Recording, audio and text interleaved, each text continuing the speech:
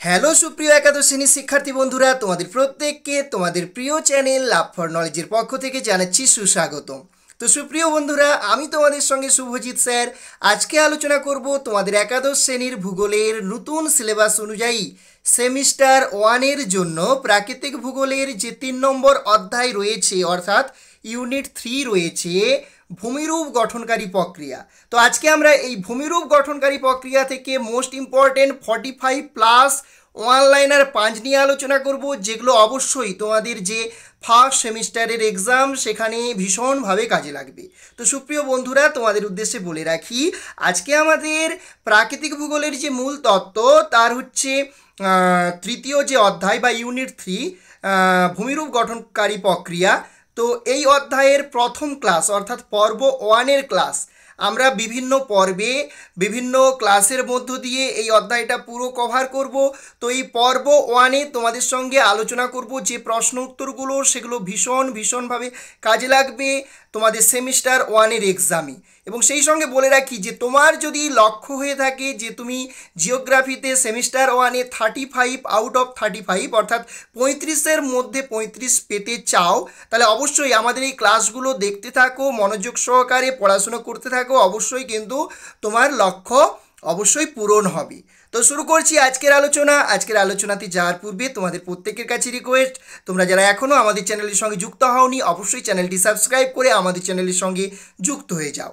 তো চলো আজকের আলোচনা শুরু করার পূর্বে ভিডিওটা আমি অফ করে দিচ্ছি, কারণ আমাদের মনোযোগ থাকবে একেবারে আলোচনাতে। তো প্রথম যে পাঁচটা রয়েছে দেখো, প্রথম পাঞ্চে বলা হয়েছে, বহির্জাত প্রক্রিয়া শক্তির মূল উৎস কি? উত্তর হবে, সূর্য হচ্ছে বহির্জাত প্রক্রিয়া শক্তির মূল উৎস বা বহির্জাত প্রক্রিয়ার শক্তির মূল উৎসটা হচ্ছে সূর্য। ওকে চলে যাচ্ছি পরবর্তী প্রশ্নে।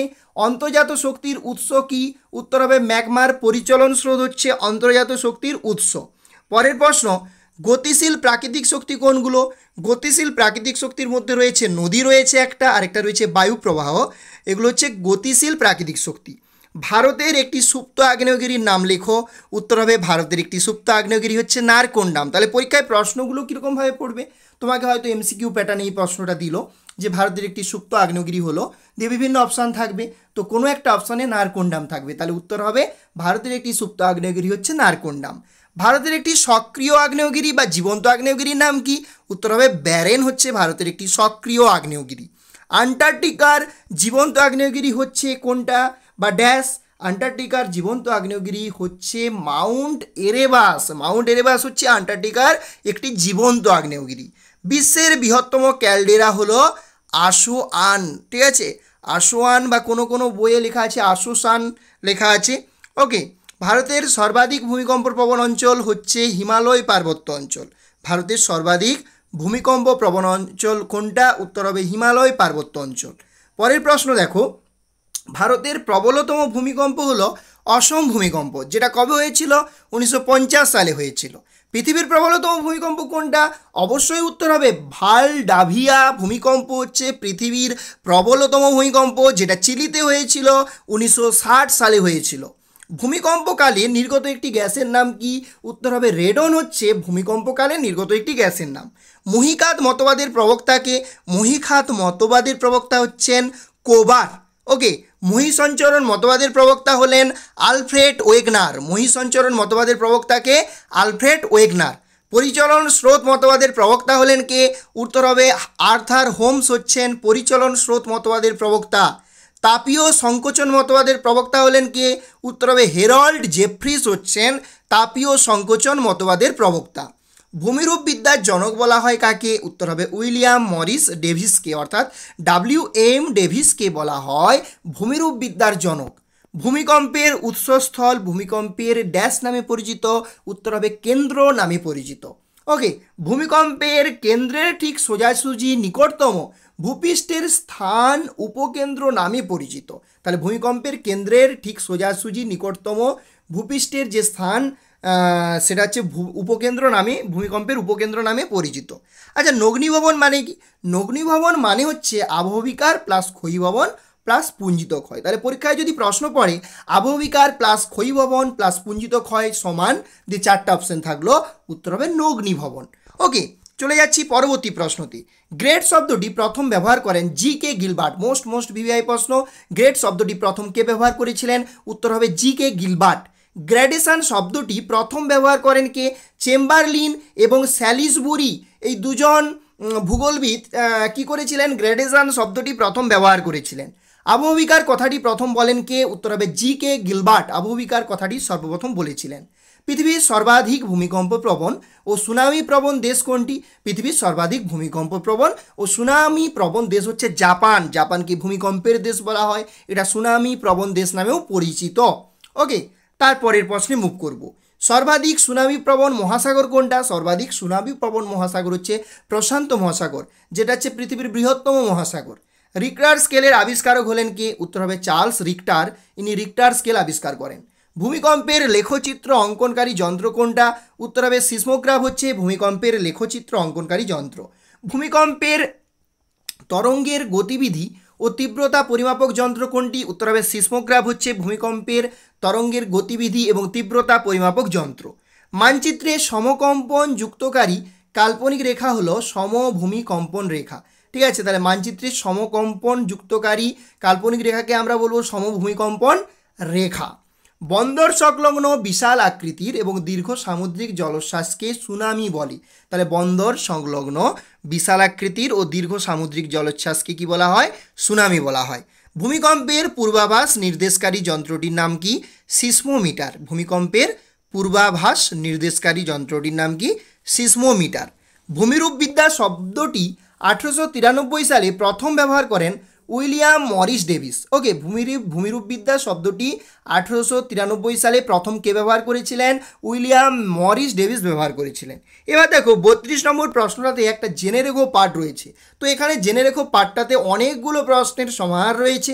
তো প্রত্যেকটা প্রশ্ন দেখো আলোচনা করে দিচ্ছি এবং প্রতিটা প্রশ্ন তোমার কিন্তু এক্সামের জন্য খুব ইম্পর্টেন্ট এবং সেই সঙ্গে বলে রাখি, সুপ্রিয় বন্ধুরা, তোমাদের এমসিকিউ প্যাটার্নে পরীক্ষা, তো অবশ্যই তোমাকে কিন্তু পাঠ্য বইটা খুঁটিয়ে পড়তে হবে। তো সেই কথা মাথায় রেখে আমরা বিভিন্ন বই থেকে জেনে রেখো পাঠ, এক নজরে পাঠ, এগুলোকে আমি আমরা সংগ্রহ সংগৃহীত করেছি এবং আমাদের এই আলোচনার মধ্যে তুলে ধরার চেষ্টা করছি। তো প্রথম দেখো যেটা রয়েছে, সিলিকা হলো ম্যাগমা গঠনকারী প্রধান উপাদান। তাহলে ম্যাগমা গঠনকারী প্রধান উপাদানটার নাম কি? সিলিকা। আগ্নেয়গিরির যে অংশ দিয়ে ম্যাগমা বের হয়, তা হচ্ছে জ্বালামুখ। আগ্নেয়গিরির যে অংশটা দিয়ে ম্যাগমা বেরিয়ে আসে, সেটা হচ্ছে জ্বালামুখ। ওকে, বিশ্বের বৃহত্তম ক্যালডেরা হলো জাপানের আসোসান। যে কথা বলছিলাম যে বিশ্বের বৃহত্তম ক্যালডেরা কোনটা? জাপানের ক্যাস আসোসান হচ্ছে বিশ্বের কি? বিশ্বের বৃহত্তম ক্যালডেরা জাপানের আসোসান। ওকে, বিশ্বের বৃহত্তম ক্যালডেরা হ্রদ বা আগ্নেয় হ্রদ হলো সুমাত্রার টোবা। বিশ্বের বৃহত্তম ক্যালডেরা হ্রদ বা আগ্নেয় হ্রদ কোনটা? সুমাত্রার টোবা। আগ্নেয়গিরি থেকে উৎক্ষিপ্ত টুকরো শিলাখণ্ডকে একসাথে বলে পাইরোক্লাস্ট। তাহলে আগ্নেয়গিরি থেকে উৎক্ষিপ্ত টুকরো শিলাখণ্ডকে একসঙ্গে কি বলে? পাইরোক্লাস্ট বলে। ভূপৃষ্ঠের যে স্থান দিয়ে গ্যাস এবং বাষ্প নির্গত হয়, তা হলো ফিউমারোল। ভূপৃষ্ঠের যে স্থান দিয়ে গ্যাস এবং বাষ্প নির্গত হয়, তা হলো ফিউমারোল। ওকে এরপর আরও একটা গুরুত্বপূর্ণ আমরা জেনে রেখো পার্টে চলে আসতেছি, যেটা হচ্ছে ভূমধ্য সাগরের আলোকস্তম্ভ। খুব ইম্পর্ট্যান্ট একটা জায়গা, এখান থেকে কিন্তু প্রশ্ন আসতেই পারে বা ধরে নিতে পারো, আসবেই। ওকে বা আসবেই। ভূমধ্যসাগরে অবস্থিত লিপারি দ্বীপের স্ট্রম্বলি একটি সক্রিয় আগ্নেয়গিরি হওয়ায় অগ্নুৎপাত দশ পনেরো মিনিট অন্তর অন্তর নির্দিষ্ট ছন্দে ঘটে। তাহলে কি বলছে? ভূমধ্যসাগরে অবস্থিত লিপারি দ্বীপের স্ট্রম্বলি একটি সক্রিয় সক্রিয় আগ্নেয়গিরি হওয়ার জন্য অগ্নুৎপাত দশ পনেরো মিনিট অন্তর অন্তর নির্দিষ্ট ছন্দে কী হয়? ঘটে। অগ্নুৎগমের আলো অনেক দূর থেকে জাহাজের নাবিকরা দেখতে পায়। জাহাজ চালনার কাজে দিক নির্ণয়ে এই আলোর ছটা সাহায্য করে এবং আলোর উজ্জ্বলতার কারণে স্তম্ভলিকে ভূমধ্য সাগরের আলোক স্তম্ভ বলা হয়। এই যে চিত্রটা সাইডেই দেওয়া আছে তোমরা দেখতে পাচ্ছ। তাহলে ভূমধ্য সাগরীয় আলোক স্তম্ভ কাকে বলা হয়? স্টম্বলিকে বলা হয়। কেন বলা হয়? সেই ব্যাপারটাও আমরা জানলাম যে ভূমধ্য সাগরে অবস্থিত লিপারি দ্বীপের স্টম্বলি একটি সক্রিয় সক্রিয় আগ্নেয়গিরি হওয়ায় অগ্নুৎপাত দশ থেকে পনেরো মিনিট অন্তর অন্তর নির্দিষ্ট ছন্দে ঘটে।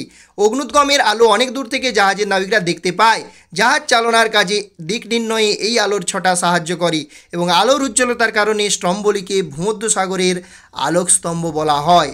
ওকে, চলে যাচ্ছি পরবর্তী জেনে রেখো পার্টি। তো খুব ইম্পর্টেন্ট জিনিসগুলো কিন্তু রিপ্রেজেন্ট করার চেষ্টা করছি সুপ্রিয় বন্ধুরা। অবশ্যই তোমাদের ভীষণ ভীষণ কাজে লাগবে। কল ড্রন কি দেখো? আগ্নেয়গিরির মুখে ভূগাঠনিক কারণ বা প্রচণ্ড বিস্ফোরণে যদি সুবিস্তৃত অংশের অবনমন ঘটে, তবে ক্যালডেরা অপেক্ষা অধিক বিস্তৃত বৃহদাকার এই নিম্নভূমিকে কলড্রন বলে। তাহলে কলড্রনটা কি? আগ্নেয়গিরির মুখে ভূগাঠনিক কারণ বা প্রচণ্ড বিস্ফোরণের কারণে যদি সুবিস্তৃত অংশের অবনমন ঘটে, তবে ক্যালডেরা অপেক্ষা অধিক বিস্তৃত বৃহদাকার নিম্নভূমি সৃষ্টি হয়, যেটা ক্যালড্রন নামে পরিচিত। ওকে, তারপর কি বলা হচ্ছে? আলাস্কার আনিয়াচক হলো বিশ্বের বৃহত্তম ক্রেটার। তাহলে বিশ্বের বৃহত্তম ক্রেটারের নাম কি? আলাস্কার আনিয়াচক। এরপর চলে আসতেছি আরও একটি জেনে রেখো পার্টি। তো এখানে কি বলা হয়েছে দেখো? অগ্নুদ্গম বা আগ্নেয়োচ্ছ্বাস পৃথিবীর সর্বাধিক ভয়ঙ্কর অন্তর্জাত প্রক্রিয়া। তাহলে পৃথিবীর সর্বাধিক ভয়ঙ্কর অন্তর্জাত প্রক্রিয়া কোনটা? অগ্নুদ্গম বা আগ্নেয়োচ্ছ্বাস। পৃথিবীতে আবিষ্কৃত তপ্তবিন্দুর সংখ্যা হচ্ছে একুশটি। তাহলে পৃথিবীতে আবিষ্কৃত তপ্তবিন্দু বা হটস্পটের সংখ্যা কটা? টোয়েন্টি ওয়ান আবিষ্কারক ভূবিজ্ঞানী জসন মর্গেন, তাহলে এই যে হটস্পটকে আবিষ্কার করেছিলেন বা তপ্তবিন্দুকে আবিষ্কার করেছিলেন, ভূবিজ্ঞানী জসন মর্গেন আবিষ্কার করেছিলেন উনিশশো একাত্তর সালে, তপ্তবিন্দু বা আমরা হটস্পট বলতে পারি ইংলিশে। ওকে বিশ্বের উচ্চতম এবং বৃহত্তম আগ্নেয়গিরি হচ্ছে হাওয়াই দ্বীপপুঞ্জের মৌনালোয়া। হাওয়াই দ্বীপপুঞ্জের মৌনালোয়া হচ্ছে বিশ্বের উচ্চতম এবং বৃহত্তম আগ্নেয়গিরি, যেটা হচ্ছে সমুদ্রপৃষ্ঠের নিচে চার হাজার একশো একাত্তর মিটার এবং সমুদ্রপৃষ্ঠের ওপরে পাঁচ দশমিক পাঁচ সাত নয় মিটার পর্যন্ত কিন্তু বিস্তৃত। ওকে এটা হচ্ছে বিশ্বের উচ্চতম এবং বৃহত্তম আগ্নেয়গিরি। ওকে মৌনালোয়া মনে রাখতে হবে। বিশ্বের সর্বাধিক উচ্চতায় অবস্থিত মৃত আগ্নেয়গিরি কোনটা? অ্যাকনকাগুয়া ঠিক আছে, বিশ্বের সর্বাধিক উচ্চতায় অবস্থিত মৃত আগ্নেয়গিরি বলেছি। তাহলে উত্তর হবে অ্যাকনকাগুয়া যেটা কত মিটার উচ্চতায় অবস্থিত? ছ মিটার উচ্চতায় কিন্তু অবস্থিত। ঠিক আছে, বোঝা গেল? আচ্ছা তারপরে কি বলা হয়েছে দেখো? আচ্ছা তারপরের প্রশ্ন, এই জায়গাটা এই জায়গাটা তোমার, এই যে মিটার, টিটার, এগুলো না মনে রাখলেও হবে। তোমাকে মেন বেসিকলি কিন্তু নামগুলো মনে রাখতে হবে। এই জায়গাগুলো অতটা ইম্পর্টেন্ট নয়। তুমি এগুলো স্কিপ করেও যেতে পারো। ওকে তারপরে কি বলা হচ্ছে দেখো? বিশ্বের বৃহত্তম ডাইক জিম্বাবুয়ের বৃহৎ ডাইক। তাহলে বিশ্বের বৃহত্তম ডাইকের নাম কি? জিম্বাবুয়ের যে বৃহৎ ডাইক, সেটা হচ্ছে বিশ্বের বৃহত্তম ডাইক। আন্টার্কটিকার বরফ ক্ষেত্রের জীবন্ত আগ্নেয়গিরি হচ্ছে মাউন্ট এরেবাস। তাহলে আন্টার্কটিকার বরফ ক্ষেত্রের জীবন্ত আগ্নেয়গিরিটার নাম কি? উত্তর হবে মাউন্ট এরেবাস। এই উচ্চতাগুলো অতটা ইম্পর্টেন্ট নয়। বিশ্বের উচ্চতম সক্রিয় আগ্নেয়গিরি কোনটা? কটোপ্যাক্সি। কটোপ্যাক্সি হচ্ছে বিশ্বের উচ্চতম সক্রিয় আগ্নেয়গিরি। আর ভারতের সক্রিয় আগ্নেয়গিরি আমরা আগেও জেনেছিলাম প্রশ্নটা। ভারতের ব্যারেন হচ্ছে একটি সক্রিয় আগ্নেয়গিরির উদাহরণ। তো সুপ্রিয় শিক্ষার্থী বন্ধুরা, এই ছিল আজকের আলোচনা। আজকের আলোচনাতে তোমাদের সঙ্গে আলোচনা করলাম তোমাদের যে একাদশ শ্রেণির যে জিওগ্রাফি, তার নতুন সিলেবাস অনুযায়ী যে তোমাদের তৃতীয়, তিন নম্বর চ্যাপ্টারটা ছিল প্রাকৃতিক ভূগোলের মূল তত্ত্ব তো সেই তিন নম্বর চ্যাপ্টার থেকে most important forty five plus হয়তো আমাদের নাম্বারিংয়ে রয়েছে থার্টি সিক্স সম্ভবত, আমি দেখে নিচ্ছি হ্যাঁ। থার্টি সিক্স কিন্তু অ্যাকচুয়ালি এখানে ফর্টি ফাইভ প্লাসই প্রশ্ন রয়েছে, কারণ এক একটা জেনে পাঠে অনেকগুলো করে প্রশ্ন রয়েছে। তো আজকের এই তথ্য অবশ্যই তোমাদের কাজে লাগবে। তো সুপ্রিয় বন্ধুরা, যদি আজকের আলোচনা, আজকের এই ক্লাস ভালো লাগে, অবশ্যই একটি লাইক করো এবং তোমার প্রিয় বন্ধু বান্ধবীদের সঙ্গে ভিডিওটি বেশি বেশি করে শেয়ার করে দাও। বিকজ শেয়ারিং ইজ কেয়ারিং এবং অবশ্যই কমেন্ট সেকশানে তোমার মতামত জানাও আজকের ভিডিওটি, কেমন লাগল সেই বিষয়ে। এবং সেই সঙ্গে তোমার কোন টপিকের উপর ভিডিও প্রয়োজন, সেই বিষয়েও কমেন্ট সেকশানে কমেন্ট করে জানাতে পারো। আমরা অবশ্যই সেই টপিকটির ওপর ভিডিও বানানোর একান্তভাবে চেষ্টা করব। তো সুপ্রিয় বন্ধুরা, তোমাদের প্রত্যেকের সঙ্গে দেখা হবে পরবর্তী ভিডিওটি তখনকার মতো সবাই ভালো থেকো, সুস্থ থেকো। জয় হিন্দ, জয় ভারত।